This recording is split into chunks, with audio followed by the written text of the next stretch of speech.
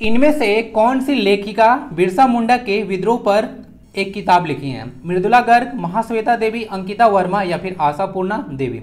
इस क्वेश्चन का आंसर दीजिए। काफ़ी इंपॉर्टेंट एक बुक है, जो कि पता होगा बिरसा मुंडा विद्रोह सबसे ज़्यादा इंपॉर्टेंट होता है। झारखंड में विद्रोह के बारे में बात कीजिएगा। उसमें भी इस पर एक किताब लिखा गया है फीमेल कैरेक्टर के द्वारा। तो क्वेश्चन तो भाई सुपर इंपॉर्टेंट बनेगा। तो hello Jharkhand welcome to learners garage education आज की इस क्लास में देखेंगे झारखंड जी के और करंट अफेयर का पार्ट नंबर एट सारे अगर पहले बार यहाँ पे आए हों तो क्लास नंबर आप लोग वंस देखिएगा। 2023-24 के एग्ज़ाम के लिए काफ़ी फ्रूटफुल लेक्चर है, जो कि आपको लेटेस्ट डेटा सारा प्रोवाइड कराया जा रहा है इंक्लूडिंग करेंट अफेयर्स ओके ना? सीजेल एक्साइज सब में लेक्चर फ़ायदा पहुंचाएगा। साथ ही साथ जेपीएससी में भी फ़ायदा पहुंचाएगा। जेपीएससी का प्रीवियस ईयर क्वेश्चन चल रहा है 2021 का। ओके ना तो उसको भी देखेंगे। और ये जब कवर होगा तो जिस जिस साल में जेपीएससी का एग्ज़ाम हुआ था, उसका हम लोग प्रीवियस ईयर क्वेश्चन देखेंगे। और साथ ही साथ जेएसएससी का भी कुछ क्वेश्चन आपको डिस्कस किया जाएगा। तो चलिए क्लास को स्टार्ट करते हैं। आज का क्लास बिल्कुल भी मिस मत कीजिएगा, काफ़ी इंपॉर्टेंट डिस्कशन रहने वाला है। और वीडियो को एक लाइक आप लोग ज़रूर दे दीजिएगा। और फ़र्स्ट टाइम यहाँ पे आए तो ज़रूर जुड़िएगा। लेट्स गियर अप और PDF at the rate learners garage education telegram channel पे आपको मिलेगा, जिसको चाहिए होगा रख सकते हैं। और अगेन क्लास छोड़ के मत जाइएगा। डैश रंग का राशन कार्ड झारखंड में अंत्योदय अन्न योजना के लाभार्थियों के लिए है। तो अंत्योदय अन्न योजना है, इसको देखिएगा तो 2003-4 में इसको शुरू किया गया था। तो कौन सा कार्ड इनको दिया जाता है? नीला, लाल, पीला या फिर सफ़ेद? आइए इस क्वेश्चन को ना थोड़ा डिटेल में डिस्कस करते हैं। जैसे देखिएगा, तीन तरह का कार्ड आपको देखने को मिलेगा। एक लाल कार्ड होता है, आप लोग पास भी होगा। एक पीला कार्ड होगा, अब एक सफ़ेद कार्ड होगा। मतलब तीन नहीं होगा, एक एक ही होगा। तो अलग अलग लोगों के पास तीन कार्ड होगा। ये लाल कार्ड जो होता है वह बीपीएल परिवारों के लिए होता है, यानी कि बिलो पॉवर्टी लाइन। तो जो बिलो पॉवर्टी लाइन गरीबी रेखा से नीचे जो जीवन यापन कर रहे होते हैं, उनके लिए यह कार्ड होता है। दूसरा बात, जो व्हाइट कार्ड देखने को मिलता है वह एपीएल यानी कि एबा पॉवर्टी लाइन के लोगों के लिए होता है। दूसरा, तीसरा जो आता है कार्ड वह है पीला कार्ड येलो कार्ड तो इसको बोलते हैं अंत्योदय कार्ड जो कि अंत्योदय अन्न योजना के तहत जिसको दिया गया था। और इसमें क्या होता है कि इसका टर्म्स एंड कंडीशन सुनिएगा थोड़ा। अगर मान लेते हैं कोई परिवार का मुखिया मर गया है, कोई विधवा है, या एक ऐसा परिवार जो कि साठ साल से ऊपर है, उसको जो है से इस योजना के अंतर्गत शामिल किया जाता है, अत्यधिक निर्धन परिवार। तो समझ गए? तो आंसर आपको मिल चुका होगा कि यह पीला कार्ड होगा। तो पीला इसका आंसर हो गया। तो अंत्योदय योजना, यह देखिएगा, दो हज़ार में इसको शुरू किया गया था। बाकी आइए इसको देख लेते हैं जैसे कि देखिएगा, इस पे क्वेश्चन भी पूछ पूछा गया था आरपीएफ 2019 में। क्वेश्चन क्या था? अंत्योदय अन्न योजना का लक्षित समूह निम्न में से कौन सा है? सबसे गरीब तबका है, गरीबी रेखा से ऊपर, यानी कि एपीएल सभी लोग या फिर पिछड़ा वर्ग? तो आंसर इसका सबसे गरीब तबका होगा, यानी कि सोसाइटी में जो बहुत ही ज़्यादा गरीब लोग हैं, उनको सरकार जो है सपोर्ट प्रोवाइड कराती है। अंत्योदय अन्न योजना के तहत। तीन चार में इसको शुरू किया गया था। तो सारा चीज़ को डिटेल में डिस्कस कर दिया तो झारखंड में योजना के बारे में था तो एक कार्ड के बारे में था। इसको देख लीजिएगा। और आपका जितना सिस्टम ये सब मिलता है, वो पीडीएस के थ्रू होता है ना। पब्लिक डिस्ट्रीब्यूशन सिस्टम यानी कि जो सार्वजनिक वितरण प्रणाली, यानी कि डीलर का घर से ये सारा योजना का लाभ आपको मिलता है। यानी कि अन्न प्रोवाइड करा दिया जाता है। लेकिन जो पीटीजी डाकिया योजना था, याद रखिएगा, जो पीटीजी डाकिया योजना था, उसमें घर घर जाके जो है आपको अन्न पहुंचाना होता है। ध्यान रखिएगा। घर घर जाके 35 किलो अनाज होता है। जीपीएससी कोडा में क्वेश्चन में डिस्कस किया था। और यह आदिम जनजाति के लिए है। पता है ना, आदिम जनजाति झारखंड में आठ आदिम जनजातियाँ हैं। आंसर इसका सी है। एक क्वेश्चन आया था, उसको भी डिस्कस कर दिया। अब झारखंड में देखिए, कुछ इंपॉर्टेंट योजनाएँ हैं जो कि आपको, जो कि पता होना चाहिए। तो इस स्लाइड को आप लोग स्क्रीन ले लीजिएगा। ऐसे मैं इसको टेलीग्राम पे अलग से शेयर कर दिया था। तो आइए थोड़ा सा योजना को डिटेल में डिस्कस कर लेते हैं। सबसे पहले आता है सुकन्या योजना। तो सुकन्या योजना 24 जनवरी 2000 जो है से 19 को झारखंड में शुरू किया गया था। 18 साल तक चालीस हज़ार रुपया आपको वित्तीय सहायता दिया जाएगा, टोटल छह बार। इसका अलग अलग कंडीशन होता है, कितनी बार दिया जाता है। उसको डिटेल में डिस्कस करूँगा तो एक अलग टॉपिक बन जाएगा। और सुकन्या योजना के लिए एक हेल्पलाइन भी आपको देखने को मिलेगा, जो कि है 181 और यहाँ पे 24 जनवरी क्यों शुरू किया गया था, पता चल रहा है? 24 जनवरी को हम लोग नेशनल गर्ल चाइल्ड डे मनाते हैं, जो कि पहली बार मनाया गया था 2008 में। ये सब कुछ कनेक्ट करके आप लोग पढ़ा कीजिए। उसके बाद मुख्यमंत्री कन्यादान योजना है तो यह जो है तीस हज़ार रुपये इसमें दिया जाता है। लाभार्थी के लिए शर्त सुनिएगा। आपको बीपीएल होना चाहिए, यानी कि लाल कार्ड होना चाहिए। है घर में?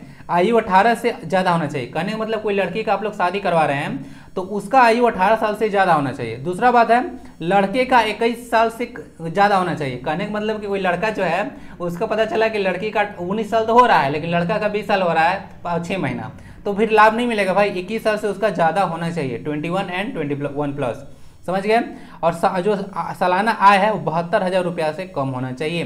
तो ये सब कुछ टर्म्स एंड कंडीशन है सुकन्या योजना के लिए। और यह योजना पुनर्विवाह पर लागू नहीं होगा। जे जेपीएससी तो ऐसे क्वेश्चन आपको जो है फ्रिक्वेंटली पूछती है। ठीक ना? जैसे कि आप लोगों को बताया था कि पीटीजी और डाकिया योजना था, उसमें पूछा गया था कि जो है से आपको सार्वजनिक वितरण प्रणाली वाले जो दुकान है, वहाँ पे मिलेगा। वहाँ पे नहीं होता घर घर जाकर दिया जाता है। तो क्वेश्चन यहाँ पे बनता है, यह जो योजना है वो पुनर्विवाह यानी कि पुनः अगर लड़की का शादी किया जा रहा है तो उस पर यह लागू नहीं होगा। क्लियर नेक आता है पंख योजना पंख योजना, पंख लगाने की बात किया जा रहा है। 2017 में इसको शुरू किया गया था और इसका मेन पर्पज क्या था? तो इसका था कि मलिन बस्तियों के छात्रों को विद्यालय से जोड़ना था। यानी जो पता होगा, जो स्लम एरिया में लोग रहते हैं, लोग क्या स्टूडेंट्स रहते हैं या बच्चे रहते हैं, वो स्कूल तक नहीं पहुँच पाते हैं। तो वही है जो पंख लगाने की बात किया जा रहा था कि उनको पंख लगाकर हम लोग स्कूल में उठ पहुँचा देंगे।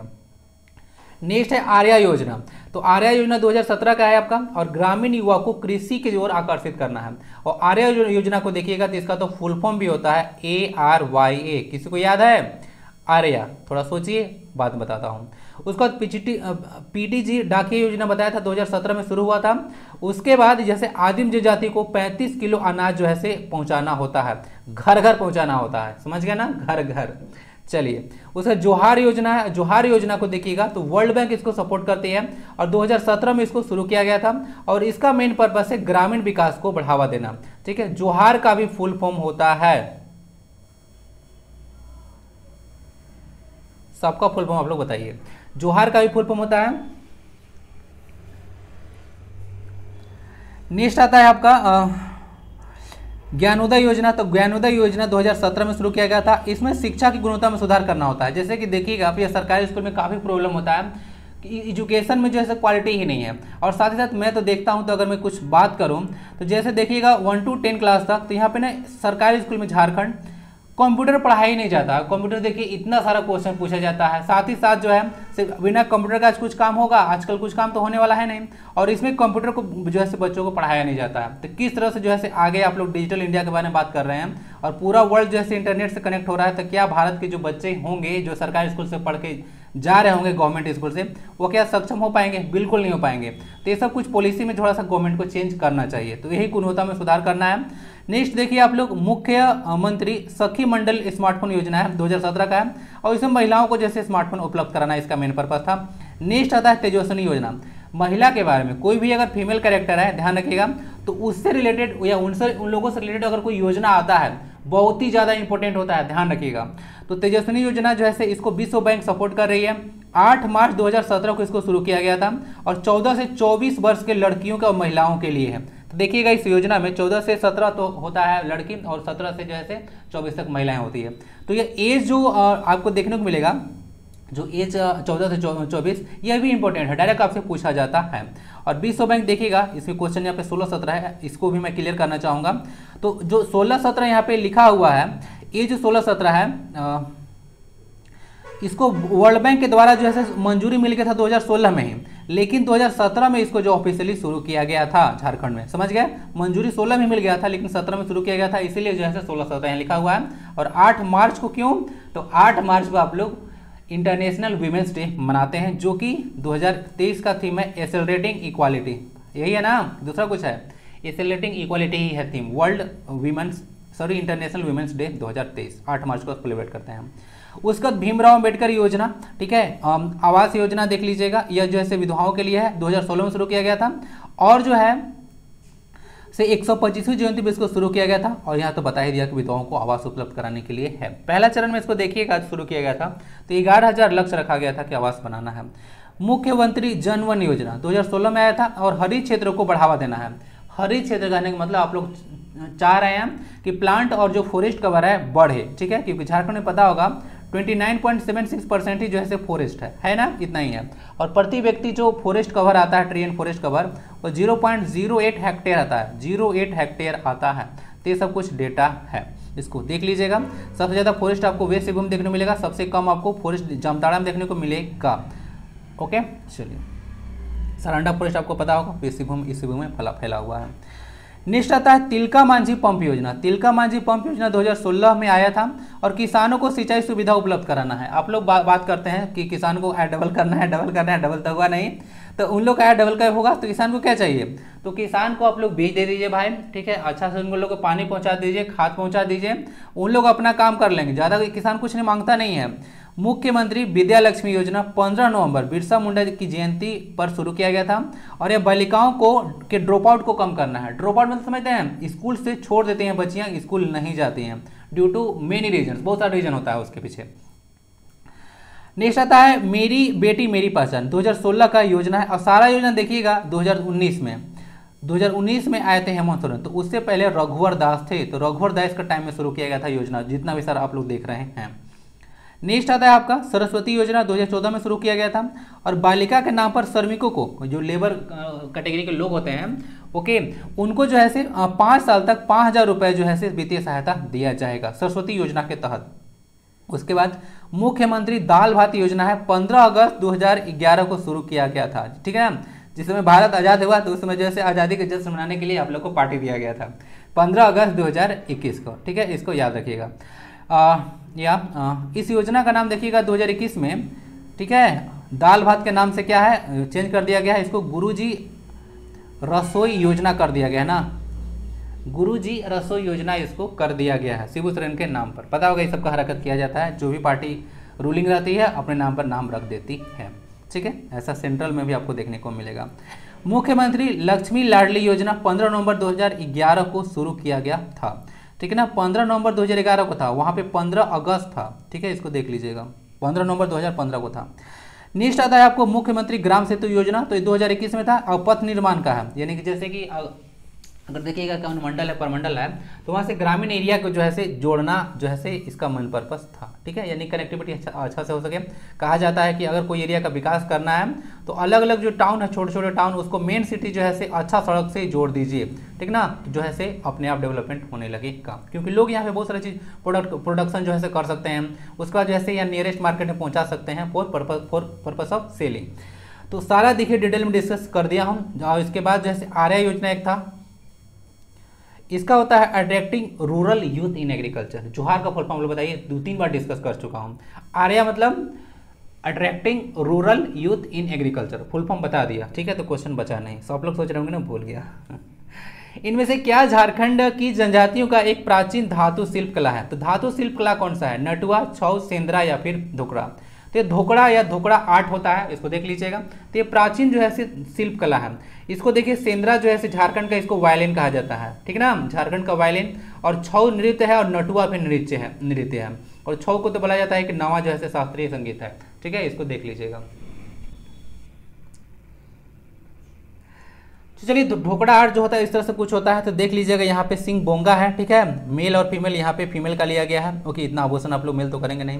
तो मेल और फीमेल जो था यहाँ पे फीमेल को लिया गया था सिंह बोंगा है, जो कि देवता है, आपको पता होगा।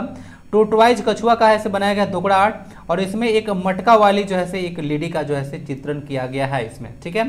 चीज़ें तो नहीं बोलेंगे, ढोकड़ा आर्ट के थ्रू जो है बनाया गया। इस तरह से जो आपको कलाकारी आप लोग देखते हैं, उसको मेटल से किया जाता है, जिसको ढोकड़ा आर्ट कहा जाता है। ध्यान दीजिएगा यह मुख्य रूप से पीतल से बनाया जाता है। पीतल मतलब कॉपर प्लस जिंक के मिश्रण से बनता है, ठीक है? चलिए, उसके बाद जो कि मोहली जनजाति के लोग बनाया जाता है। मोहली जनजाति के लोग हैं, मुख्य रूप से इसको बनाते हैं। और मोहली जनजाति को झारखंड में जो है एक शिल्पकार जनजाति कहा जाता है। पूछेगा कि इनमें से कौन सी जनजाति शिल्पकार शिल्पकार जनजाति है? तो मोहली आंसर लगाइएगा। और इसको बनाने में जो टेक्निक यूज़ किया जाता है, उसको बोला जाता है लॉस्ट वैक्स टेक्निक ये सारा टर्म काफ़ी ज़्यादा इंपॉर्टेंट है, ध्यान रखिएगा। तो धोकड़ा आर्ट के बारे में डिटेल में डिस्कस कर दिया इमेज दिखा दिया, कौन सा टेक्निक यूज़ होता है, कौन जनजाति बनाती है, किससे बनाया जाता है, वो किसका मिश्रण होता है, सारा चीज़ हो गया। धोकड़ा सेंद्रा को झारखंड का वैलिन कहा जाता है। मूव करते हैं क्वेश्चन नंबर थ्री की ओर। इनमें से किस व्यक्ति को पद्मश्री पुरस्कार नहीं दिया गया है? शैलेंद्र कुमार बंदोपाध्याय, महेंद्र सिंह धोनी, दीपिका कुमारी, प्रेमलता अग्रवाल या फिर रामदयाल मुंडा? तो आंसर इसका हो जाएगा शैलेंद्र कुमार बंदोपाध्याय। इनको पद्म श्री नहीं मिला है, इनको पद्म भूषण मिला है।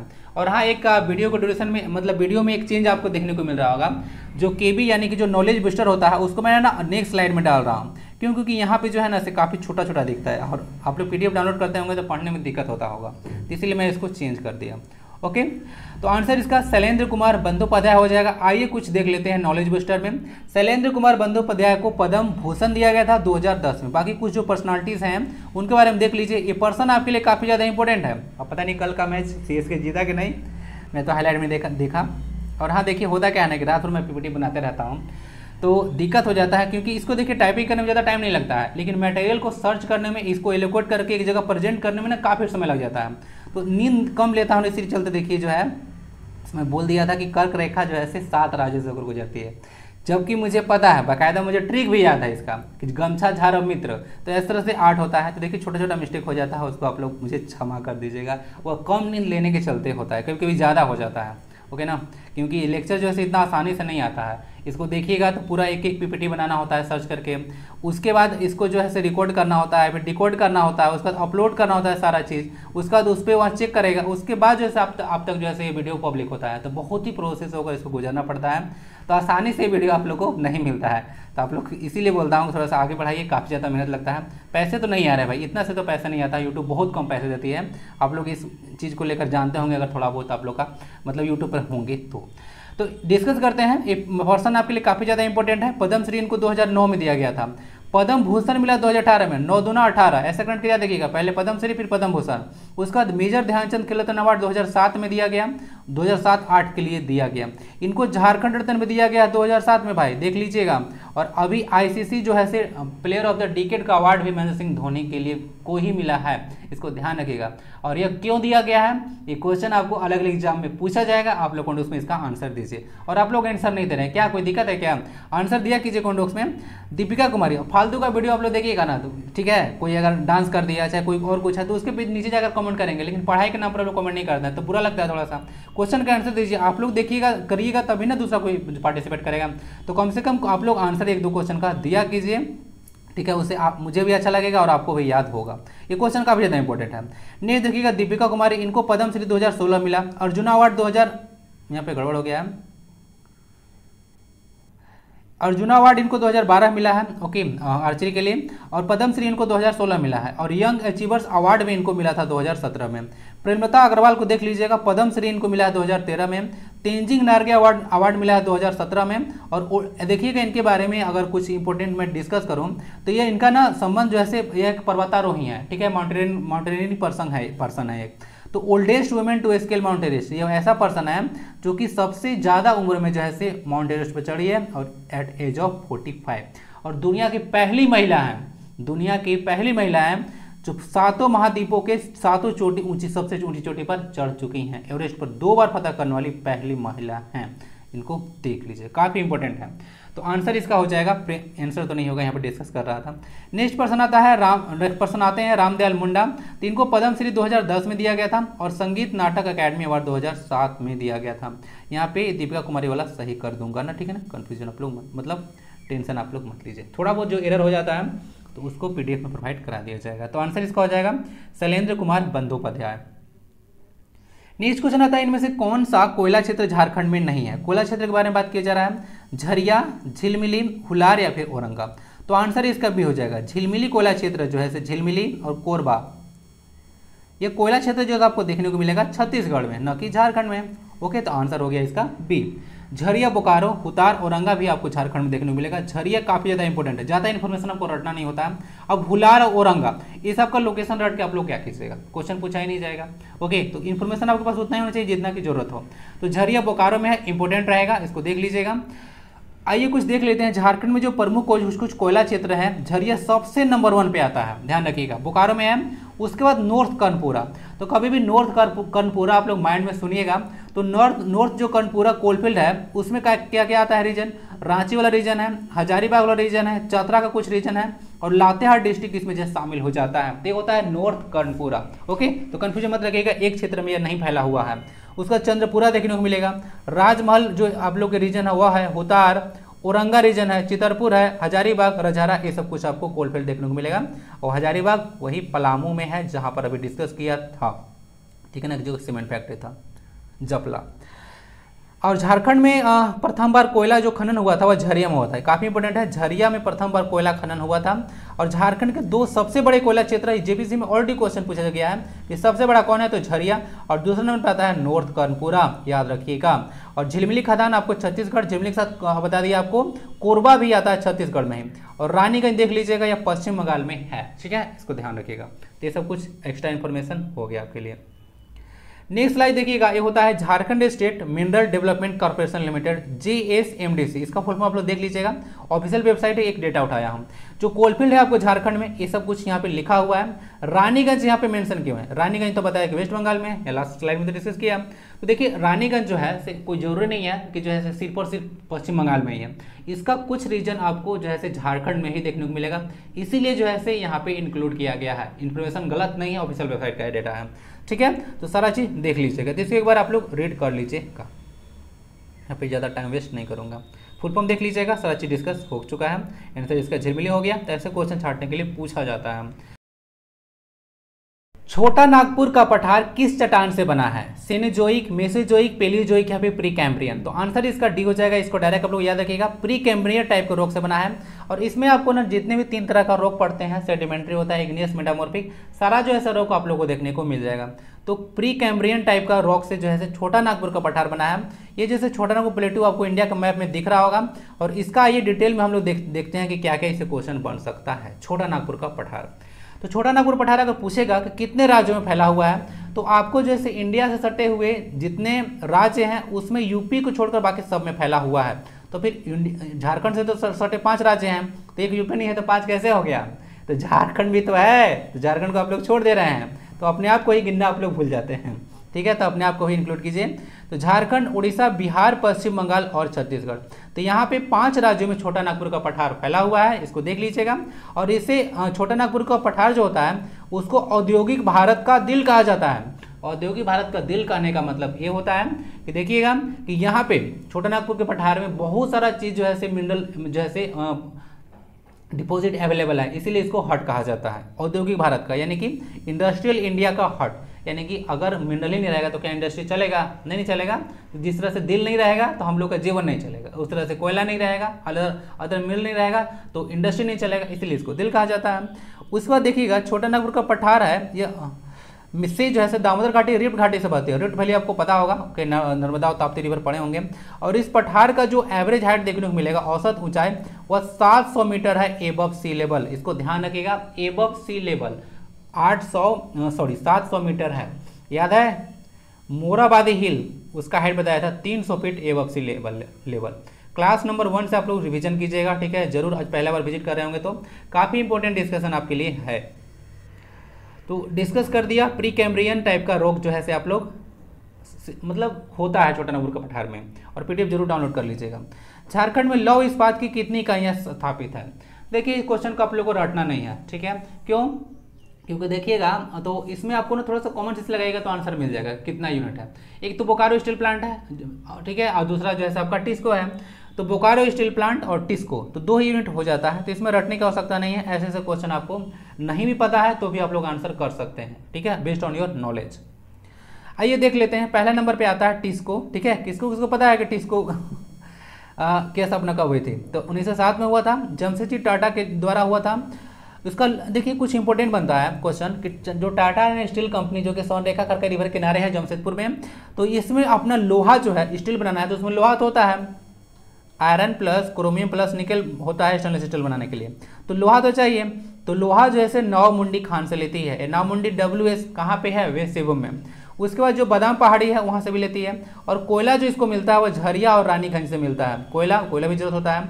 और पानी जो है से वही सोनरेखा नदी से लेती है। इसको देख लीजिएगा। यह कंपनी और देखिएगा तो इसमें दो चीज़ होता है। देखिएगा तो इसमें प्रोडक्शन अगर बोला जाए तो 1911 1912 दोनों डेट आपको कहीं ना कहीं देखने को मिल जाएगा। तो देखिए, जो लोहा का उत्पादन यहाँ पे शुरू हुआ था, वो 1911 से शुरू हुआ था। लेकिन स्टील का उत्पादन 2000 1912 से शुरू हुआ था। ये चीज़ आपके माइंड में कन्फ्यूज़न नहीं होना चाहिए। सात में स्थापना हुआ 1911 में लोहा का प्रोडक्शन हुआ और और 1912 में जो है से आपको स्टील का प्रोडक्शन होना शुरू हुआ था। तो सारा डेट देख लीजिएगा, ऐसे क्वेश्चन आपको बनते हैं। नेक्स्ट नेक्स्ट आता है जो बोकारो स्टील प्लांट है, उसको देख लीजिएगा। उन्नीस में रूस के सहयोग से इसको स्थापित किया गया था। और जो लोहे की आपूर्ति यहाँ पे होता है, वो क्योंझर की खानों से होती है लोहे की आपूर्ति। और क्योंझर की खान जो है उड़ीसा में है, ये भी याद रखिएगा। और पूछा जा सकता है क्योंझर कहाँ पे है। क्यों? क्योंकि ये झारखंड से रिलेटेड है। तो झारखंड जी में डाला जा सकता है, या छाटने के लिए देगा कौन सा जो लोहे का खान झारखंड में नहीं है। इसीलिए इतना डिटेल में मैं आपको बताया हूँ। ठीक है? इसको देख लीजिएगा। संपूर्ण भारत का जो स्टील उत्पादन में झारखंड की हिस्सेदारी 20 से 25 परसेंट, ये क्वेश्चन ऑलरेडी डिस्कस किया जा चुका था। और देखिए, एक क्वेश्चन वहाँ पे छूट रहा था। तो यहाँ पे देखिए, यहाँ पे आया था। कुछ इंडस्ट्री से रिलेटेड न्यूज़ था। न्यूज़ क्या बोले? इन्फॉर्मेशन बोलते हैं। तो ये यहाँ पे डाल दिया हूँ। जैसे Indian institute of foundry and forge industry देखिएगा, जो उन्नीस सौ छियासठ में स्टेब्लिश हुआ था वह रांची में लोकेटेड है। तो डेट इसका याद रखिएगा, उन्नीस सौ छियासठ। इसीलिए इसको मैं डाल दिया। ये छूट गया था इन्फॉर्मेशन तो कोई चीज़ छूट ना जाए, कहीं भी इन्फॉर्मेशन है, रहना चाहिए। इनमें से किसका नाम बिरसा मुंडा के नाम पर किया गया है। हवाई अड्डा का, मध्य कारागार, एथलेटिक स्टेडियम या फिर इनमें से सभी। तो आपको पता चल रहा है तो इसमें आंसर डी हो जाएगा। इनमें से सभी इसका आंसर हो जाएगा। हवाई अड्डा भी है, बिरसा मुंडा जो है हवाई अड्डा है। यह इंटरनेशनल हवाई अड्डा नहीं है ना डोमेस्टिक है, ध्यान रखिएगा। यह इंटरनेशनल हवाई अड्डा नहीं है या डोमेस्टिक है। लेकिन हाँ जो देवघर एयरपोर्ट बना हुआ एक इंटरनेशनल एयरपोर्ट बना गया है। ध्यान रखिएगा, देवघर इंटरनेशनल एयरपोर्ट बना है। देश विदेश से भी लोग यहाँ पे आएँगे, बाबा धाम की नगरी में, दर्शन देने। मध्य कारागार सेंट्रल जेल आप लोग बोल सकते हैं तो ये रांची में है, जहाँ पे बिरसा मुंडा जी 24 साल की एज में जो है से शहीद हुए थे। कहा जाता है कि हैजा डेथ हुआ था, डेथ हुआ था, लेकिन कोई ज़रूर नहीं है, हैजा से हुआ था, ज़बरदस्ती इनको मार दिया गया होगा। ठीक है ना? कुछ जहर वहर देकर। एथलेटिक स्टेडियम देख लीजिएगा, एथलेटिक स्टेडियम जो है, ये भी बिरसा मुंडा एथलेटिक स्टेडियम है, जिम्नास्टिक के लिए है, और यहीं पे जो है थर्टी फोर्थ नेशनल गेम हुआ था, जिसमें झारखंड का स्थान पांचवा रहा था। झारखंड जो है, तैतीस गोल्ड छब्बीस सिल्वर और सैंतीस जो है से ब्रॉन्ज मेडल जीती थी। ये कुछ डेटा है, आप लोग याद रखिएगा। तो आंसर इसका डी हो जाएगा इनमें से सभी।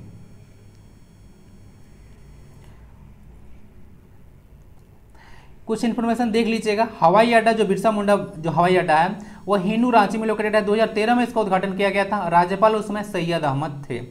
मध्य कारागार जो सेंट्रल जेल देखने को मिलता है, बिरसा मुंडा मध्य या सेंट्रल कारागार बोल सकते हैं, रांची में लोकेटेड है। उसके बाद एथलेटिक स्टेडियम के नाम से बिरसा मुंडा एथलेटिक स्टेडियम देखने को मिलेगा रांची में। और फिर जयपा, जयप्रकाश नारायण सेंट्रल जेल है। एक सेंट्रल जेल भी यहाँ पे देखने को मिलेगा, जिस तरह से मध्य कारागार है। यहाँ पे जयप्रकाश नारायण सेंट्रल जेल भी है।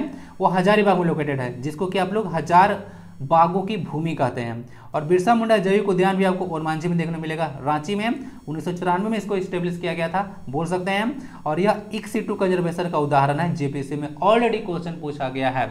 इक्सिटू कंजर्वेशन आपको बताया था।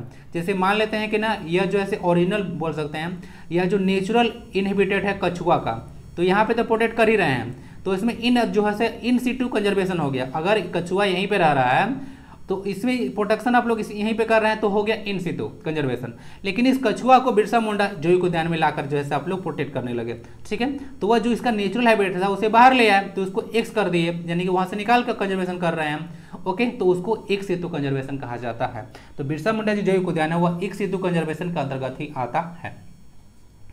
नेक्स्ट क्वेश्चन इंपॉर्टेंट है आपके लिए। वो क्वेश्चन जो शुरू में पूछा गया था, उस क्वेश्चन का आंसर जो है से इसी में आपको मिलेगा। दूसरा बात है क्वेश्चन में आपसे पूछा था कि कहाँ पर जो है से एक झारखंड में संस्कृत जो है से विश्वविद्यालय बनाया जाएगा।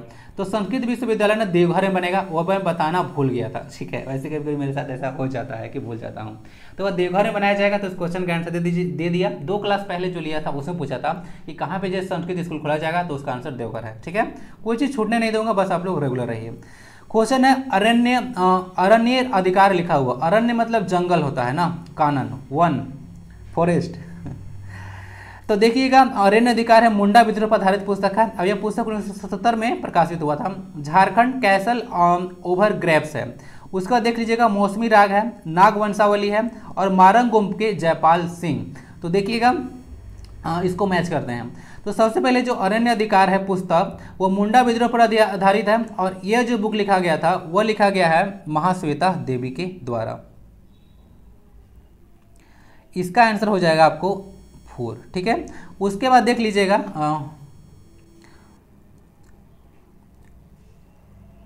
झारखंड कैसल और ग्रेव्स। तो झारखंड जो कैसल और ग्रेव्स है, वो विक्टर दास लिखे हैं ना? विक्टर दास लिखे हैं। उसके बाद मौसमी रॉक जो बुक है, वो लिखे हैं जॉन लकड़ा इनको याद रखिएगा। नाग वंशावली जो तैयार किया गया था, वो वेनी राम मेहता के द्वारा तैयार किया गया था। और मरांग गोम के जयपाल सिंह को कहा जाता है। तो उन पर जो बुक लिखा गया वह गिरधारी राम गोंझू के द्वारा लिखा गया है।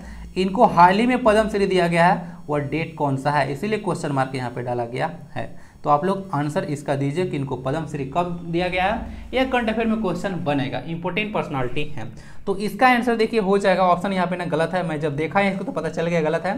यहाँ पे ए के स्थान पर फोर होना चाहिए था बी के स्थान पर फाइव होना चाहिए था। तब जाकर ये ऑप्शन सही होगा। तो यहाँ पे भी मिस्टेक मैं कर दिया। सॉरी फॉर दैट तो आंसर पता चल गया। अरण्य अधिकार, यही है मुंडा विद्रोह पर आधारित पुस्तक है, जो कि उन्नीस सौ सतहत्तर में प्रकाशित हुआ था और इसके राइटर महाश्वेता देवी है। तो ध्यान रखिएगा, यही वो पर्सनालिटी है जो कि मुंडा विद्रोह पर आधारित एक पुस्तक लिखी है महाश्वेता देवी। इंपोर्टेंट पर्सनालिटी है, याद रखिएगा बुक इंपोर्टेंट है, अरण्य अधिकार। ये पुराना भी बुक है, पता होगा, उन्नीस का, लेकिन यह मुंडा विद्रोह पर है तो इंपोर्टेंट बनेगा। झारखंड, कैसल। कैसल पता है क्या होता है? इंग्लिश में बड़ा फनी लैंग्वेज है। ये जो कास्टल समझ गया कास्टल जो पढ़ते हैं, कैसल, उसी को कैसल बोला गया कैसल ओवर ग्रेव्स ग्रेव्स मतलब कब्र होता है। तो कब्र के ऊपर किला बना है, उस पर यह बुक है। समझ गया तो इसको कास्टल नहीं कैसल पढ़ा जाता है। इसलिए आपको लग रहा होगा क्या है यह। ठीक है? तो समझ में आ गया होगा? कैसल ओवर ग्रेव्स ग्रेव्स मतलब कब्र कब्र होता है। यानी कि कब्र के ऊपर किला बनाया गया था। ठीक है? चलिए। तो आंसर इसका हो जाता। ठीक है? अगर यहाँ पे आंसर फोर और फाइव रहता तो सी झारखंड के कौन से नेता मध्य प्रदेश के राज्यपाल के रूप में कार्य किया है? भीष्म नारायण सिंह शिबू सोरेन, रामेश्वर ठाकुर या फिर रमेश बैस। देखिए, ये जो पर्सन है, उनका नाम है रामेश्वर ठाकुर। तो रामेश्वर ठाकुर देखिएगा, ये गोडा की पर्सनालिटी है और मध्य प्रदेश के राज्यपाल के रूप में यह कार्य कर चुके हैं। जो करेंट और रिलेटेड इन्फॉर्मेशन देख लीजिए। करेंट और जो इलेवेंथ गवर्नर झारखंड के हैं, वह सीपी राधाकृष्णन है, तमिलनाडु के पर्सनालिटी हैं। फ़र्स्ट जो गवर्नर थे, प्रभात कुमार थे, ये नाइनटीन एटी थ्री आई बैच के जो अधिकारी थे ना, ठीक है यूपी ध्यान रखिएगा यूपी से रिलेटेड है। 1983 बैच के आईएएस अधिकारी हैं। ये क्वेश्चन आपको नॉर्मल एग्ज़ाम में नहीं पूछ जाएगा। जेपीएस से ऐसा क्वेश्चन आपको पूछेगी। ध्यान रखिएगा मैच करने के लिए। उसके बाद फ़र्स्ट जो फीमेल गवर्नर थी, झारखंड की, द्रौपदी मुर्मू थी नाइन्थ गवर्नर थी। ये उड़ीसा की पर्सनालिटी है। और गवर्नर जो होते हैं, वो आर्टिकल 155 में है। ठीक है? अपॉइंटमेंट ऑफ़ गवर्नर के बारे में बात किया जा रहा है। ठीक है ना? तो इसे देखिएगा देसलवी गवर्नर तो तिरपने में से शुरू हो जाएगा। तो आंसर इसका हो जाएगा रामेश्वर ठाकुर। ओके आंसर इसका सी है। शिबू सोरेन गवर्नर नहीं है ना? ये तीन बार झारखंड के मुख्यमंत्री बन चुके हैं और अर्जुन मुंडा भी यानी कि टोटल दो पर्सन है जो कि झारखंड के तीन बार मुख्यमंत्री बने हैं। इनमें से विषम को छटना है जादूगोड़ा तुमराटी बग जाता नरवा पहाड़ फिर नाव मंडी समझ में आ रहा है? चुनिए जरा रीजनिंग का क्वेश्चन हो गया है तो। तो इसमें नाव मंडी जो है अलग हो जाएगा। थोड़ा सा दिमाग में अपने लगाइएगा ना तो बन जाएगा। नाव मंडी भी डिस्कस किया था किस कब डिस्कस किया था? आपको बताया था कि जो टिस्को है किसको, इसको याद है, टिस्को। टिस्को है, वो अपना जो लोहे की आपूर्ति है वो नाव मंडी खान से करती है। तो आपको याद होगा कि यह क्या है? यह आयरन ओर माइन होगा, ठीक है? तो आयरन और माइन है माइन है तो बाकी सब तो अलग हो गया। तो कैसे? जादूगोड़ा यूरेनियम का है। रेनो है ना? अभी आप कन्फर्म है। तो ये चीज़ भी पता है तो आप लोग आंसर लगा सकते हैं। उसके बाद तुमरा डे बगजाता नरवा पहाड़ सारा का सारा यूरेनियम खान है। ध्यान रखिएगा झारखंड में। आंसर इसका ई हो जाएगा। और यूरेनियम को झारखंड में 1951 में खोजा गया था जादूगोड़ा में, लेकिन प्रोडक्शन शुरू किया गया था 1967 से। 57 नहीं है 67 है, मैं बार बार इस बात पे फोकस करता हूँ। नामुंडी लॉ इसके संबंधित है। बाकी सारे देखिएगा तो यूसीआईएल है, ठीक है? U uranium corporation of India limited जो कि उन्नीस सौ सड़सठ में स्थापित है और प्रोडक्शन शुरू हुआ था। उसके द्वारा जो संचालित एक यूरेनियम की खाने हैं तांबा खादान घाटशिला में देखने को मिलेगा, पश्चिम पश्चिम सेबू में। और एक सुरदा भी है जो कि न्यूज़ में रहता है तांबा खादान के लिए। बाकी खेतड़ी राजस्थान में तांबा खादान है ना, एक जीके में याद रखिएगा काफ़ी फ़ेमस है। हो गया, बाकी हम लोग कोल में नंबर वन आयरन ओर में नंबर सेकेंड और कॉपर ओर में नंबर थर्ड है। आयरन कोल कितना है हमारे हमारे पास? 28 परसेंट याद रखिएगा। यह कितना? 26 परसेंट है। और ये लगभग 18 परसेंट है, ठीक है? लगभग डेटा होता है, थोड़ा बहुत आगे पीछे हो सकता है, एक आधो पॉइंट या zero point five percent. Answer इसका ई हो जाएगा नाव मंडे, ठीक? समझ गया? तो रीजनिंग का भी क्वेश्चन एक करा दिया। नेक्स्ट क्वेश्चन इलेवन आता है, झारखंड में मनरेगा के लिए पहली लोक अदालत कब लगाई गई थी? तो जो पहली लोक अदालत लगाई गई थी, वह 2009 में लगाई गई थी। जिस समय कनेक्ट करके याद रखिएगा, झारखंड में पहली बार जो है राष्ट्रपति शासन लगा था। 19 जनवरी से लगा था। पहली बार जो राष्ट्रपति राष्ट्रपति शासन लगा था, वह कितना दिनों के लिए था फॉर हाउ मेनी डेज़ आप लोग इस क्वेश्चन का आंसर दीजिए। ठीक है? कितना दिन के लिए था? क्वेश्चन ऐसे बनेगा। तो 2009 इसका आंसर है, मनरेगा के लिए लोक अदालत लगाया गया था। मनरेगा आप लोग देखिएगा, यहाँ पे लोक अदालत के बारे में बात कीजिएगा तो आप लोग नालसा पढ़े होंगे 1977 78 का एक्ट ठीक है, national legal service authority act तो नालसा का आप लोग केस देखते हैं तो उसमें फ्री लीगल सर्विस दिया जाता मतलब फ्री जो है से आप लोग को जस्टिस देने की बात किया जाता है, जो कि पता होगा, इक्वलिटी बिफोर लॉ है, यानी कि लॉ के आगे जैसे सब कोई बराबर है, आर्टिकल 40 हमारे संविधान का कहता है तो वो हो गया, प्लस में आर्टिकल 39 ए तो बोलता है कि इक्वल मतलब इसमें जो है से जस्टिस फॉर ऑल के बारे में बात किया जाता है। यानी कि आप गरीब हो, चाहे अमीर हो, आपको जस्टिस मिलेगा। अगर मेरे पास पैसा नहीं है तो आप हमको मार के चले जाइएगा। ऐसा तो नहीं हो पाएगा। हमारे पास आर्टिकल 39 है, हम कोर्ट में बाकायदा चले जाएँगे, ठीक है? तो आंसर इसका 2009 है। तो बच्चा समझ के आँख ना दिखाना। आर्टिकल थ्री ए आपको प्रोटेक्ट करेगा। देख लीजिएगा इंडिया का जो फ़र्स्ट कुछ रिलेटेड नॉलेज देख लीजिए। यहाँ पे लोक अदालत जो है से काम यहाँ पे क्यों लाया गया है? लोक अदालत जो होता है, वह जो होता है किसी हाईकोर्ट के प्रसाद पर्यंत ही कार्य करता है। इसी से इसका जो है से पावर आता है। ठीक है? ध्यान रखिएगा। हाईकोर्ट से ही जिसका पावर मिलता है, लोक अदालत को। झारखंड का हाईकोर्ट भारत का इक्कीसवां हाईकोर्ट है। देखिएगा यहाँ पे, अगर कुछ हाईकोर्ट के बारे में बात किया जा रहा था, ओके हाईकोर्ट या फिर यहाँ पे हाईकोर्ट यहाँ पे क्यों ले लिया? इसको तो नहीं लेना चाहिए था, ये कुछ एक्स्ट्रा न्यूज़ हो गया। ये इन्फॉर्मेशन एक्स्ट्रा हो गया, इसको यहाँ पे नहीं डालना चाहिए था। रिलेटेड न्यूज़ हुआ ही नहीं। देखिए झालसा के बारे में बात किया जाता है। झारखंड जो वही था लीगल सर्विस जो जो है अथॉरिटी था तो 1987 में आया था। इसको देख लीजिएगा। उसके बाद अभी वर्तमान में देखिएगा, जो पैट्रोन इन चीफ है झालसा के, ओके ना तो वह जो है ऑनरेबल यहाँ पे जस्टिस संजय कुमार मिश्रा। याद आ रहा है? यह झारखंड के चौदहवें जो है फोर्टीन जो है चीफ जस्टिस हैं, ठीक है ना, झारखंड हाईकोर्ट के। तो वही जो लोक अदालत होता है ना, यही जो है से हेड यही करते हैं यही जो है पावर हाई कोर्ट से आता है, लोक अदालत का याद रखिएगा। बाकी यहाँ पे इन्फॉर्मेशन इसका एक्स्ट्रा हो गया था, ठीक है? तो उसके लिए सॉरी फॉर दैट तो लोक अदालत जो है, ऐसे ध्यान रखिएगा 1987 में आया था झालसा। और बाकी इंडिया का जो फ़र्स्ट पेपरलेस असेंबली बना था, वो झारखंड था। और झारखंड का जो लेजिस्लेटिव देखिएगा, विधानसभा, वो कुटेग्राम रांची में देखने को मिलेगा। ये सब याद रखिएगा। विधानसभा है तो रटना नहीं है आपको, ठीक है? कैपिटल सिटी में ही इसको बनाया जाता है। Next GSS in JPSC corner JPSC previous year question 2021 paper number second start होता है क्वेश्चन नंबर 71 से। 70 क्वेश्चन तो मैं कवर कर चुका हूँ in various parts of this series Jharkhand is rich in renewable resource because cold reserve काट लीजिए रिन्यूएबल है ही नहीं। एबंडेंस ऑफ़ वाटरफॉल पानी से है तो सोच सकते हैं igneous rocks are rich in minerals minerals निकलेगा तो वह जो है से बोल सकते हैं कि रिन्यूएबल होगा ही नहीं। Large reserve of forest forest से क्या होगा? लकड़ी काटिएगा रिन्यूएबल होगा ही नहीं। ठीक है? तो देख लीजिएगा, यहाँ पे होगा abundance of waterfall abundance of waterfall के चलते जो है रिच है रिन्यूएबल एनर्जी सोर्स में। वाटरफॉल से क्या होगा? वाटरफॉल से होगा कि वहाँ पे आप लोग हाइड्रल पावर प्लांट लगा लगा सकते हैं। यानी कि टर्बाइन लगा सकते हैं। ओके टर्बाइन जो है डायनो में लगा दीजिए जनरेटर और वह जो है मैकेनिकल एनर्जी को इलेक्ट्रिकल एनर्जी में कन्वर्ट करके दे देगा। तो ये कुछ कहानी होता है। तो हमारे पास एबंडेंस ऑफ़ वाटरफॉल है, जिसके चलते झारखंड के पास रिन्यूएबल एनर्जी का काफ़ी ज़्यादा संभावना है। इसको ध्यान रखिएगा। वैसे जल विद्युत भी आपको देखने मिलेगा। दामोदर वैली का कितना सारा तो जल विद्युत संयंत्र झारखंड में लगा हुआ है। ओके और वाटरफॉल भी बहुत ज़्यादा यहाँ पे देखने को मिलेगा अलग अलग जगह में। रांची में अकेले दर्जन भर आपको वाटरफॉल देखने को मिल जाएगा, जो तीन चार इंपोर्ट बहुत ज़्यादा बड़े बड़े हैं। अरे भाई, दोबारा क्वेश्चन क्यों आ रहे हो? The observe climate change in Jharkhand is because. Jharkhand में जो क्लाइमेट चेंज आप लोग को देखने को मिल रहा है किसके चलते देखने को मिल रहा है? तो यह एंथ्रोपोजेनिक फैक्टर है, यानी कि मानव जनित गतिविधियाँ हैं, उसको एंथ्रोपोजेनिक एक्टिविटी बोलते हैं। तो यह तो इंपॉर्टेंट है, जितना पृथ्वी पर प्रॉब्लम हो रहा है, सारा का सारा हमारे आपके चलते ही हो रहा है, इसके पीछे दूसरा कोई जिम्मेदार नहीं है।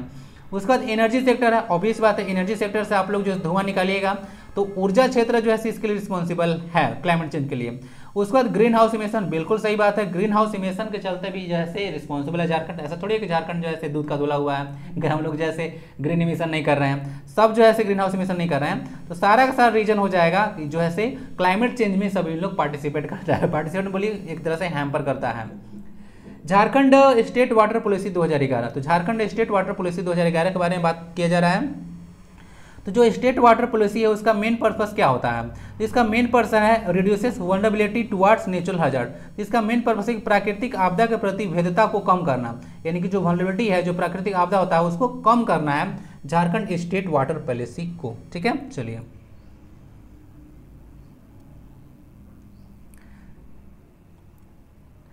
Jharkhand disaster management plan. Jharkhand disaster management plan के बारे में बात किया जा रहा है। ये जो होता है addresses adaptation capability of community control G A G emissions promotes afforestation या फिर undertaking projects for restoration strengthening of infrastructure तो देखिए जो झारखंड डिजास्टर जो मैनेजमेंट प्लान है, उसका पर्पस है बुनियादी ढांचा को बहाली करना। बुनियादी ढांचा मतलब जो आप लोग को जो प्रोजेक्ट है अंडरटेकिंग प्रोजेक्ट जो लिए हैं, उसको जैसे बहाल करना है। उसके जैसे कि जो मजबूती करना है जो बुनियादी ढांचा की बहाली करने का मतलब होता है कि स्ट्रेंथ करना है इंफ्रास्ट्रक्चर को, ठीक है? और अंडर टेंडिंग प्रोजेक्ट्स मतलब मजबूती की परियोजनाएँ जो है शुरू कर, से शुरू करना है। यानी कि जो योजनाएँ हैं, उसको और ज़्यादा जो है मजबूती से आप लोग इंप्लीमेंट करेंगे। तो undertaking projects for restoration and strengthening of infrastructure infrastructure को रिस्टोर और जो है से रिस्टोर करने के बाद यहाँ पे किया जाता है प्रोजेक्ट को। तो आंसर इसका डी हो जाएगा। झारखंड आपदा प्रबंधन योजना। झारखंड आपदा प्रबंधन देखिएगा, जिसको जीएसडी में बोला जाता है। Jharkhand state disaster management authority बोलिएगा तो इसको Jharkhand state disaster management management जो अथॉरिटी है, इसको हेड करते हैं आपको सीएम इसको ध्यान रखिएगा। और ये जो होता है नेशनल डिजास्टर मैनेजमेंट अथॉरिटी का जो सेक्शन 14 है, उसके तहत हर एक स्टेट में, सिर्फ़ झारखंड नहीं, हर एक स्टेट में स्टेट डिजास्टर मैनेजमेंट अथॉरिटी बनाया जाता है। Which of the following is not a plan of J A P C C है फुल फॉर्म देख लीजिएगा। Jharkhand state action plan on climate change J A P C इसको बोला जाता है। तो इसका जैसे कौन जो है इसका प्लान का एक पार्ट नहीं है।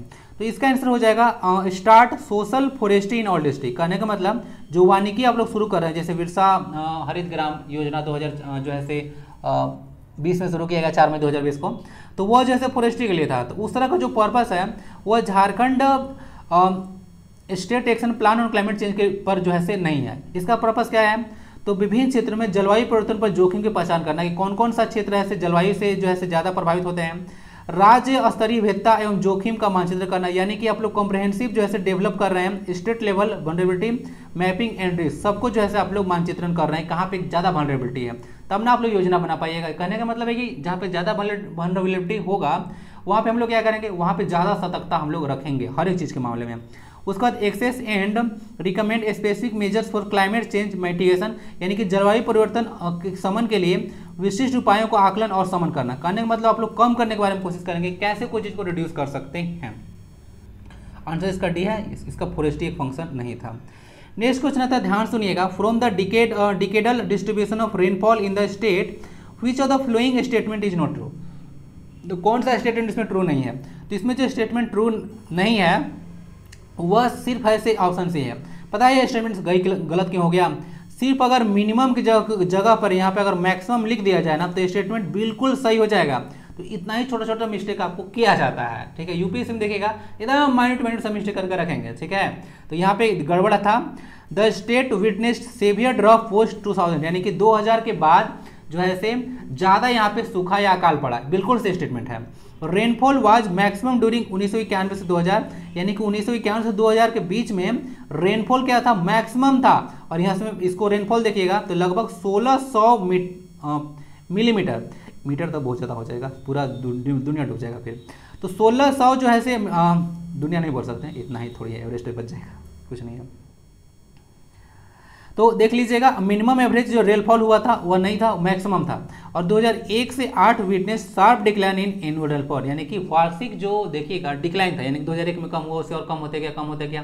तो इस तरह से जो है, से एनुअल रेनफॉल में जो है, से कम होते गया। और मैं इस चीज़ को ऑब्ज़र्व भी कर रहा हूँ। मुझे तो अच्छे से याद है कि पहले समय में जो छोटा था तो उसमें बहुत बारिश हुआ करती थी। अब बारिश हो भी कहाँ रहा है? जब हम लोग गाँव में रहते थे, गाँव में जो कच्चा सड़क होता है, उसमें मछलियाँ, ठीक है, सांप ये सब आया करते थे। अब तो कुछ आता ही नहीं है।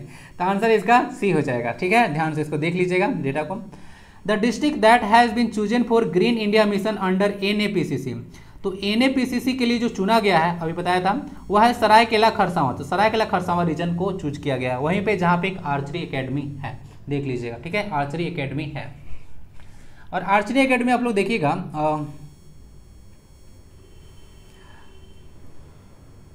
जो झारखंड में तिरंदाजी संघ के जो अध्यक्ष है वह है अर्जुन मुंडा। और यह जो है से राष्ट्रीय तीरंदाजी संघ, यानी कि जो भारतीय तीरंदाजी संघ है, उसके भी अध्यक्ष हैं। आंसर इसका सरायकेला खरसावां रीजन हो जाएगा। सरायकेला खरसावां, उसके बाद पश्चिमी सिंहभूम और पूर्वी सिंहभूम। तीन आते हैं आपको डिस्ट्रिक्ट ठीक है, तीन डिस्ट्रिक्ट हैं। जो कि कोल्हान डिवीज़न में आता है। हेडक्वार्टर इसका चाईबासा हो जाएगा ना? चाईबासा पलामू में भी तीन डिस्ट्रिक्ट है। तो पूछेगा कितने झारखंड में प्रमंडल है, जिसमें तीन डिस्ट्रिक्ट है? तो बता दीजिएगा।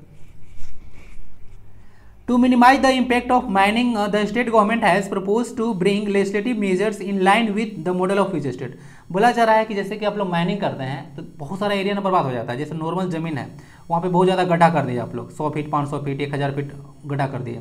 तो इतना जब गड्ढा कर दिए तो वहाँ का ना क्षेत्र पूरा बर्बाद हो जाता है। तो हम लोग आंध्र प्रदेश मॉडल को अडॉप्ट करने के बारे में बात कर रहे थे, ताकि पर्यावरण के नुकसान को कम हो, किया जा सके। भूमि का क्षरण हो जाता है। नेक्स्ट क्वेश्चन जो 79 नंबर का है which of the following bodies is responsible for ensuring resource mobilization and timely delivery of mitigation and adaptation plan Hindi में पढ़ लीजिए कि इनमें से कौन सा जो ऐसे निकाय है, जो कि संसाधन को जुटाने और समन और अनुकूलन योजना पर समय पर डिलीवरी सुनिश्चित करने के लिए। कहने का मतलब आपको योजना को बना रहा है, बनाना है और समय पर उसको संसाधन मिलना चाहिए। कोई भी प्लान आप लोग बना दिए अगर उसको रिसोर्स ही आप लोग अवेलेबल नहीं करवाएँ तो क्या वो प्लान काम करेगा? तो प्लान विदाउट रिसोर्स काम ही नहीं करेगा। तो आपके पास रिसोर्स होना चाहिए। जेपीएससी का तैयारी आप लोग करने चलेगा उसके पास अच्छा से आप लोग को बुक नहीं है। अच्छा आप लोग को टीचर जैसा नहीं मिला। आप लोग को पढ़ने का मन ही नहीं है। रिसोर्स में तो ये नहीं आएगा, ठीक है? लेकिन ये ह्यूमन रिसोर्स में आ जाएगा। ह्यूमन कैपिटल है ना तो ह्यूमन कैपिटल भी आपको लगाना ज़रूरी है। अपना एफर्ट ही लगेगा तो कुछ नहीं होगा। तो ये सब कुछ कुछ चीज़ ज़रूरी है। दूसरा बात है, अगर योजना बन गया है तो उसको डिलीवरी भी जो है अच्छा से होना चाहिए। कहने का मतलब आप लोग पढ़ लिए तो एग्ज़ाम भी अच्छा से होना चाहिए जल्दी जल्दी ना? ठीक है टाइमली हर एक साल एग्ज़ाम हो जाना चाहिए एक दो, तब ना आप लोग का जॉब होगा। तो सब इसका काम होता है स्टेट स्टेयरिंग कमेटी का। और इसको देखिएगा तो स्टेट जो में स्टेट स्टेयरिंग कमेटी होता है उसको डेवलपिंग कमिश्नर डेवलपिंग कमिश्नर यानी कि जो विकास आयुक्त होते हैं, उसी वही हेड करते हैं। तो आंसर इसका बी हो गया पर्पस ये सब सारा तो क्वेश्चन में ही लिखा हुआ था। नेक्स्ट और लास्ट जो क्वेश्चन होगा जेपीएससी कॉर्नर का, वह है national national plan on climate change वही है जे ए पी सी लिखा हुआ है, झारखंड बोल देगा। झारखंड सॉरी यहाँ पे है national plan on climate change by J A P C C was release on कहने का मतलब जे ए पी सी सी जो था, Jharkhand national plan on climate change यह जो है नेशनल प्लान जो है ऑन क्लाइमेट चेंज पर जैसे रिलीज़ किया था, वह रिलीज़ किया था 30 जून 2008 को, ठीक है? तो याद रखिएगा 30 जून 2008 नेक्स्ट हम लोग कंटेक्ट अफेयर देखेंगे, जो कि लास्ट सिक्स मंथ का राउंड अप मैं करा रहा हूँ, ठीक है? आइए। Guinness book of world records question काफ़ी इंपॉर्टेंट है, और क्वेश्चन में छोटा छोटा न्यूज़ मैंने आपको नहीं दे रहा हूँ, ठीक है? वह सब देखूँगा। जो ज़्यादा इंपॉर्टेंट क्वेश्चन है वही मैं आपको प्रोवाइड कर रहा हूँ जिसको पूछ जाने की संभावना बहुत ही ज़्यादा है। कुछ भी चलते उलते क्वेश्चन आपको नहीं पूछ देंगे ओके और अगर एक दो क्वेश्चन छूट भी जाएगा तो आपका फ्यूचर डिसाइड नहीं कर पाएगा। तो ज़्यादा इंपॉर्टेंट क्वेश्चन आपको मैं प्रोवाइड करा रहा हूँ। ऐसे तो मेरा पर्पस है क्वेश्चन छूटना नहीं चाहिए। इसलिए सारे इंपॉर्टेंट न्यूज़ मैं कवर कर दूँगा जित, जितना मुझसे बन पाएगा। बाकी आप लोग तैयारी करते रहिए ठीक है ना? पता है ना? चलना है तो दूसरे कंधे पर आप लोग चल सकते हैं। शोल्डर पर आप लोग जैसे चल सकते हैं। उड़ना है तो अपने पंखों पर ही उड़ना होगा। ठीक है ना? चलिए। और यह सही बात है, मैं तो आपको सिर्फ़ हेल्प प्रोवाइड करा सकता हूँ। Guinness book of world records में अपना नाम दर्ज कराने वाले अनिल केजरीवाल किस ज़िले के हैं? तो Guinness book of world records में नाम जो दर्ज कराए हैं अनिल केजरीवाल वह रांची कराने वाले हैं। देखिएगा तो रांची में ये जो प्रतियोगिता आपको देखने को मिल रहा है ये यूएई में हुआ था। तो इनका टीम यूएई में आयोजित कला महोत्सव, देख लीजिएगा, एक आर्ट फेस्टिवल हुआ था। उसमें जम्बो 51 पर पेंटिंग बनाना था। जम्बो 51 देखिएगा तो इसमें 51 मीटर जो है से विथ का था चौड़ाई, और 51 मीटर जो है लंबाई, इतना पर जो है पेंटिंग बनाना था। इसको देख लीजिएगा। फीट था। तो आंसर इसका बी हो जाएगा। जम्बो 21 51 सॉरी किस ज़िले में प्रीपेड स्मार्ट मीटर शुरू करने की योजना है? गढ़वा, बोकारो खुट्टी या फिर रांची। तो आंसर इसका डी है, पायलट प्रोजेक्ट पर। पायलट प्रोजेक्ट कभी भी सुनते हैं ना तो लोग समझिए कि उसको ना एक तरह से बोल सकते हैं कि पहली बार शुरू किया जा रहा है कि किस तरह से वह काम कर रहा है देखने के लिए। तो उसको पायलट प्रोजेक्ट पर एक हज़ार मीटर लगाया गया था रांची में। तो अब देखिए जो प्रीपेड स्मार्ट मीटर क्या है? ये जो वर्ड है ना, प्रीपेड, प्री प्लस पेड से मिलकर बना है। प्री का मतलब होता है बिफोर। और पेड तो पेड है ही। तो यानी कि पहले आपको पेड करना होगा भाई घर में तो पहले आप लोग पेड कीजिएगा, तभी घर में बिजली चलेगा अदरवाइज़ नहीं चलेगा तो ये होता है प्रीपेड स्मार्ट मीटर और यह रांची में लगाया गया था इंपोर्टेंट न्यूज़ है, ध्यान रखिएगा। दूसरा बात है, इसमें मिनिमम रिचार्ज आप लोग सौ रुपया का करा सकते हैं, ठीक है? सौ रुपया। अच्छा एक न्यूज़ और है शायद। देखिए, छोटा न्यूज़ है Tata steel Jharkhand literary meet जो हुआ था, वो रांची में हुआ था ना? रांची में था तो डाल दिया। टाटा स्टील का झारखंड लिटरेरी मीट हुआ था। लास्ट सिक्स मंथ है, ठीक है? नवंबर, दिसंबर का न्यूज़ है। तो यह रांची में देखने को मिलेगा। झारखंड ने तमिलनाडु में आयोजित first national para throw ball championship में कौन सा मेडल जीता है? तो झारखंड की टीम ने सिल्वर मेडल जीता है। फ़र्स्ट नेशनल हुआ था para throw ball throw ball एक गेम है। तो उस उस चैंपियनशिप में झारखंड ने गोल्ड मेडल जीता था। सॉरी सिल्वर मेडल जीता था। तमिलनाडु में यह इवेंट हुआ था। ध्यान रखिएगा। सिल्वर मेडल भूलना नहीं है। हाल ही में फोर्ब्स इंडिया के सेल्फ मेड वुमेन 2022 की सूची में किस लेखिका को शामिल किया गया है? तो यह झारखंड की लेखिका है, इसीलिए यहाँ पर डिस्कस कर रहा हूँ। तो यह जनसिता करकेटा अंशुता लकड़ा जो है से आपको देखने को मिलेंगे। यह राइटर नहीं है ना, यह हॉकी के प्लेयर है झारखंड में। जनसिता क्रिकेटर को याद रख लीजिए, जोबा मुरी पता है आपको, ओलान बाहा, अलंकार पुष्प की राइटर है। 2017 में इनको साहित्य अकेडमी अवार्ड दिया गया था। और अंकिता वर्मा आपको याद होना चाहिए। The legend of Birsa Munda की को राइटर है। को राइटर मतलब साथ में मिलके हेल्प किए थे। किसका? तुहिन ए सिन्हा का टैस को। ठीक है? आंसर इसका बी हो जाएगा जनसिता करकेटा। इनको याद रखिएगा रांची के पर्सनालिटी है। दूसरा बात है आ, इनका दो बुक है अंगोर और जड़ों की ज़मीन। जड़ों की ज़मीन जड़ों की ज़मीन जेके जी आ जाएगा। तो आंसर इसका हो गया बी जनसिता क्रिकेटर काफ़ी मोटेड पर्सनालिटी हैं फीमेल रिलेटेड हैं तो पास्ट पास्ट बोलिए नहीं। इसको जो है स्टेटिक बैकग्राउंड में जाकर इनके द्वारा बुक भी जो है पूछा जा सकता है। कहाँ के रहने वाली हैं? तो वहीं पे जहाँ के दीपिका कुमारी हैं, तिरंदाजी वाली, रांची। पांचवी झारखंड अंतर्राष्ट्रीय फ़िल्म महोत्सव की शुरुआत कहाँ पे हुई? तो देखिए, अंतर्राष्ट्रीय लेवल का फ़िल्म फेस्टिवल था झारखंड में तो ये इंपॉर्टेंट बनेगा। कौन सा नंबर का था? पांचवा क्वेश्चन कैसे पूछा जाए तो आपको क्वेश्चन मतलब दिक्कत नहीं होना चाहिए। यह श्यामा प्रसाद मुखर्जी विश्वविद्यालय में हुआ था, या रांची में ही देखने को मिलेगा। आंसर इसका ए हो जाएगा। यहाँ पे लिखा हुआ है, इसमें बत्तीस देशों को तिरपन फ़िल्म को जैसे प्रदर्शित किया गया था, यानी कि स्क्रीन किया गया था। हो गया इंपॉर्टेंट न्यू पाँच तो इसको देख लीजिए, कुछ रिलेटेड इन्फॉर्मेशन आपको दे दिया। That's it for this class आशा है कि क्लास आपके लिए काफ़ी फ्रूटफुल रहा होगा। मिलते हैं फिर अगले क्लास में, वीडियो को एक लाइक आप लोग ज़रूर कीजिए और शेयर भी आप लोग ज़रूर कीजिए। नहीं कर रहे हैं क्लास में मुझे नहीं लगता है कोई दिक्कत है, लेकिन आप लोग का रिस्पॉन्स उस तरह से नहीं मिल रहा है, कुछ अगर दिक्कत है तो आप लोग ज़रूर बताइएगा। ठीक है, मिलते हैं फिर अगले क्लास में। वंदे भारतम और पीडीएफ आप लोग टेलीग्राम जाकर ज़रूर डाउनलोड कर लीजिएगा at the rate learners education जय हिंद।